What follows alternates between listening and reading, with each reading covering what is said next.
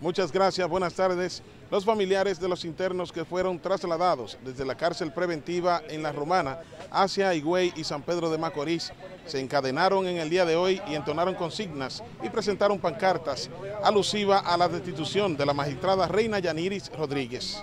Es que a nuestros hijos los sacaron, ella se tiró ese sábado a las 5 de la mañana para llevárselo de ahí para, eh, sería para desaparecerlo, porque yo creo que a una hora, a esa hora, a las 5 de la mañana, era para que nadie se diera cuenta, que por eso fue que los otros presos se amotinaron ahí.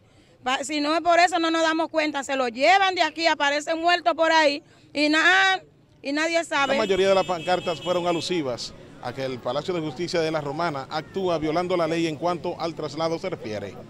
Que bajo qué medida y con qué resolución fueron acogidos siete reclusos en dos centros, en dos SR, sin ningún tipo de, resolución. ¿Cómo fue que los directores de esos centros recibieron a esas personas? ¿Y cómo es que los directores de esos centros permiten que vaya el Ministerio Público de esta jurisdicción a las 9 y a las 10 de la noche a maltratarlos, a hostigarlos, pidiéndole que den declaraciones de cosas que no saben? La protesta por parte de los familiares inició en el interior del Palacio de Justicia y culminó en las afueras con la medida de seguridad de un fuerte contingente policial.